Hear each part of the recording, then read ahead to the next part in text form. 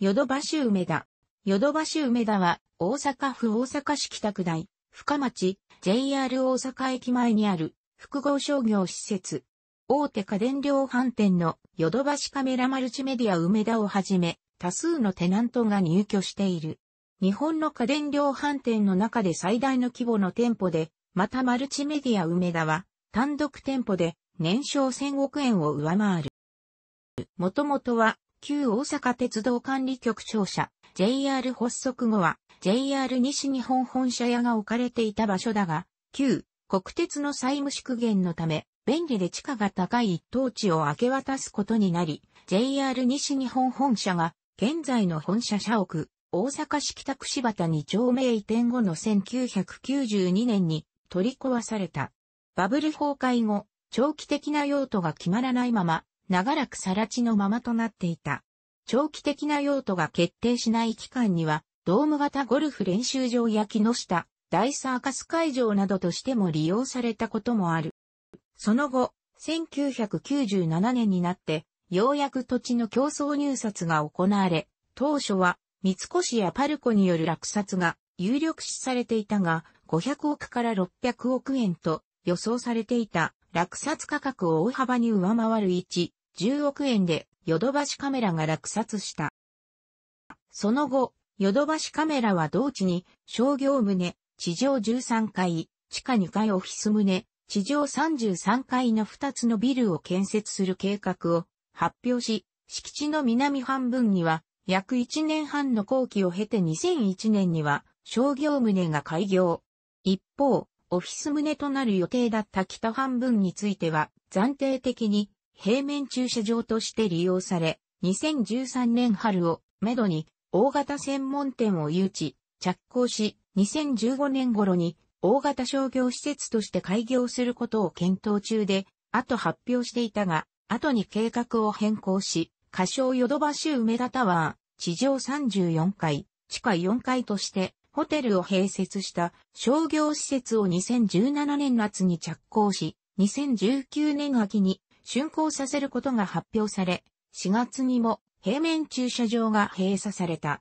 グランフロント、大阪や大阪ステーションシティとペデストリアンデッキで接続するほか、観光バスの発着スペースが設けられる予定となっている。なお、ホテルに関しては、阪急阪神ホールディングスの子会社である、阪急阪神ホテルズが入居し、2019年冬、開業予定の方針で、最終調整に入ったと2017年9月末に報道され、2018年8月に2020年初春開業予定と正式発表された。ヨドバシカメラは首都圏及び東日本を中心に店舗を展開してきたが、出店空白地域である西日本に店舗展開するための足がかりとして、西日本最大の都市である大阪市に大型店舗、機関店を作必要があった。また、大きなターミナル駅を要する梅田地区は、集客が見込めることもあった。ただし、当時の年間売上高が2000数百億円の同社にとって1、10億円という土地の落札価格はあまりにも高額であることと、当時の関西地区では同社店舗の知名度は低かったこともあり、採算性を疑問視する見方もあった。このような懸念があったにもかかわらず、開業日には予想をはるかに超える客が押し寄せたことや、関西地方ではあまり馴染みがなかったポイント制度への申し込み客が多かったことなどを挙げて、楽観的な見通しを論評するメディアもあった。開業当初は B1 階から4階がヨドバシカメラの売り場であったが、4階にあったゲーム、おもちゃ売り場を5階に移動し売り場を拡大した。夏季限定で13階の駐車場スペースを利用したビアガーデンを開設していた高い壁に囲まれているため眺望が極めて悪いほか、風が通りづらいこともあって蒸し暑いなど不評だったため、2004年限りで営業を終了した。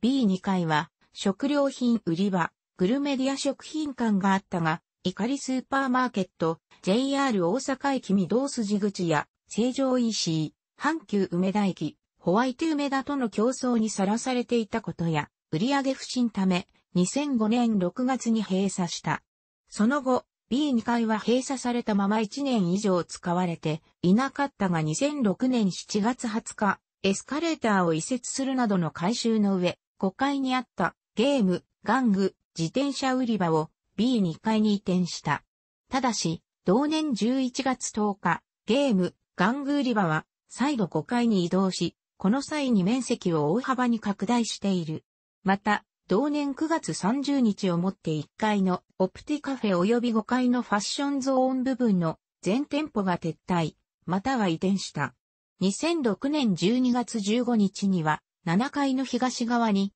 ユニクロの大型店が出店した。なお、食料品売り場の跡地は旅行用品、自転車、文具売り場となっており、特に旅行用品売り場は日本でも屈指の品揃えとなっている。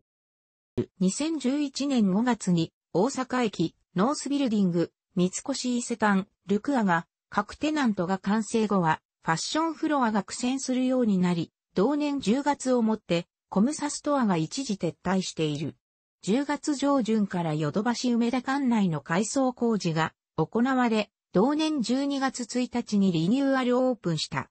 コムサストア跡地のうち、1階から4階はヨドバシカメラの売り場拡大、5階から6階は専門店街、7階はコムサスタイル、コムサスタイルスーツ、IB コムサ、コムサストアの縮小移転となった。また、従来地下2階へのエスカレーターは東側しか設置されていなかったが、リニューアルを機に西側にも設置されるようになり、館内の回遊性が向上された。ヨドバシ梅田の各テナント。ヨドバシカメラの関西地区1号店として2001年11月22日に開業した。デパート風の建物、広い売り場、豊富な品揃えに加え、カフェ、レストラン街、ファッション医療雑貨専門店の併設という、これまでの家電量販店のイメージを覆すものであり、業界に大きな衝撃を与えた。また、開業初日は22万人の来客数があり、その翌日からの3連休、11月23日から11月25日では95万人以上、3日間の合計の来客数を記録した。開業以降、関西地区の家電量販店の勢力図は激変した。特に、従来から大阪における家電の街として著名であった日本橋筋の多くの店舗は、郊外型の大型店舗に押されていたところに、都心型の大型店舗の登場により、撤退を余儀なくされ、現在のようなサブカルチャーの街に変わるきっかけとなった。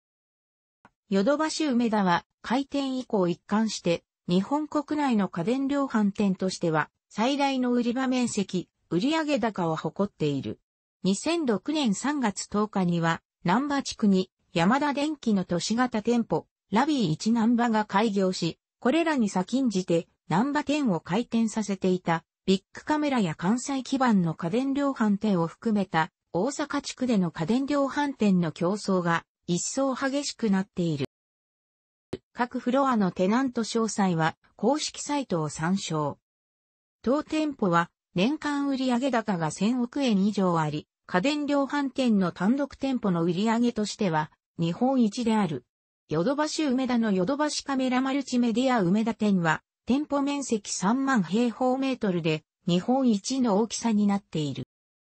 開業前からヨドバシ梅田周辺の道路、特に新阪急ホテル前付近は、大阪駅東口、御堂筋口とも隣接することから、タクシーやバスなどで日常的に混雑していたが、大阪駅の再開発工事の影響による通行規制で、さらに道路事情が悪化している。また、特に歩道の混雑や歩行者による信号無視なども多い。これらの道路混雑に対応するため、混雑に応じて駐車場や駐輪場の入出庫や、新阪急ホテル発着のバスやタクシー及び歩行者の誘導のため、警備員が配備されている。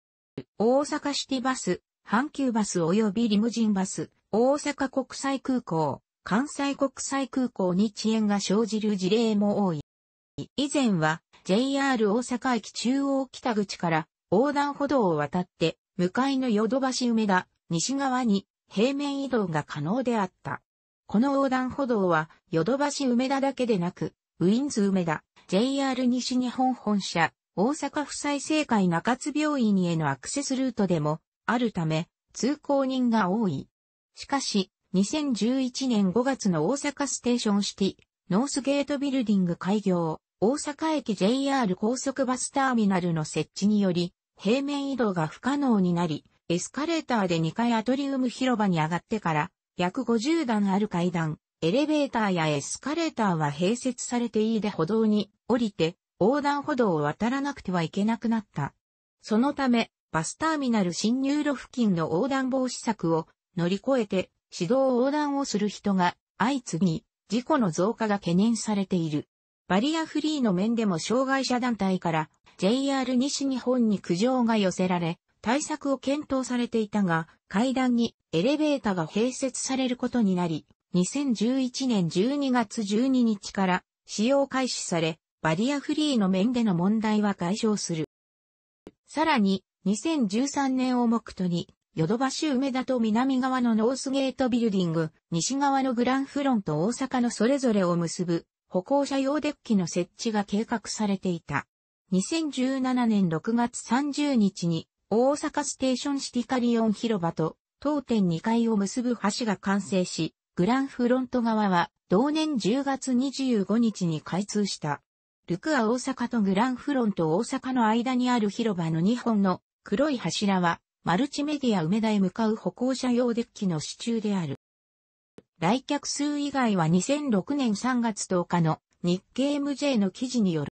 かつて、この敷地にあった大阪鉄道管理局庁舎と同様に丸みを持った形態で、後に開業したヨドバシ秋葉、京都ヨドバシとも外壁のデザインが共通している。ヨドバシカメラマルチメディア梅田の CM ソングが作られたのは開業から約1年後である。テレビ CM、30秒版や店内放送で聞けるほか、ヨドバシビージョン、口述でも流れている。最近では、首都圏の既存店同様、電車をモチーフとしたキャラクターが登場し、こちらは、環状くん、環状ちゃん、大阪環状1103系がモデル。2018年に入って323系をモデルとしたキャラクターが登場した、御堂筋くん、御堂ちゃん、地下鉄御堂筋線21系がモデルが使われている。これらのキャラクターが設定された当時は阪急電車、8000系もしくは8300系や阪神電車、9300系をモチーフにした。阪急くん、阪急ちゃん、阪神くん、阪神ちゃんも存在していた。短い期間で姿を消した。日本国内第3位の乗降客数となる大阪駅、梅田駅、西梅田駅、東梅田駅、北新地駅含むから近く、電車利用の場合は、利便性が高い。また、各駅から地下道などで連結されており、雨天時も雨に濡れずに店舗まで到達できる。1階平面駐車場、オフィス棟建設予定地と9階から13階立体、駐車場があり、計1100台収容できる。また、二輪、自転車共用の駐車場も設置されているが、出入り口が車道から遠く離れている。2006年6月1日からの改正道路交通法の施行以降は二輪車用、駐車場の利用が急増し、満車状態になることが多かったが、同年7月上旬には拡張が行われた。ヨドバシ梅田1階東側にある大型カラービジョンで待ち合わせ場所としても利用されている。愛称はヨドビ梅田。土曜、休日にはヨドバシビジョンの付近で街頭イベント、新商品 PR 等が行われることがある。他、楽しくご覧になりましたら、購読と良いです。クリックしてください。